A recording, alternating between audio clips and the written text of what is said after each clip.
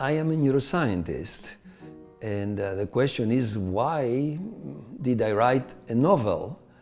Uh, I will uh, uh tell you what sparked uh, this interest. It was a defeat.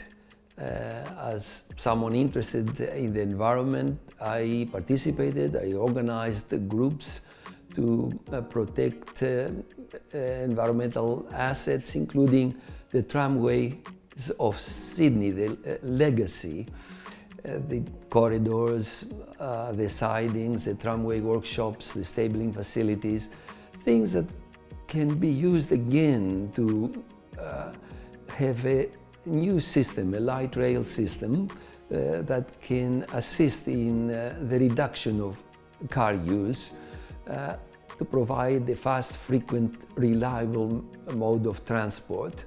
But uh, the government destroyed the corridors.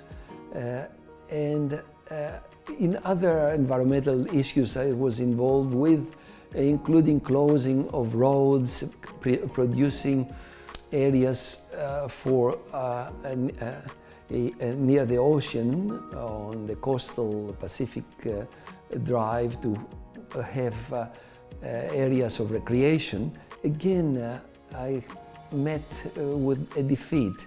And this motivated me to uh, consider uh, working upstream from behavior at attitude. That is, writing a novel to change attitudes toward the environment. Uh, but I didn't have the vehicle to do this with until one day, after a decade of thinking about this, an idea came that uh, my friends told me it was a good plot uh, for a novel. Little did I know that it would take me 21 years to flesh out this idea.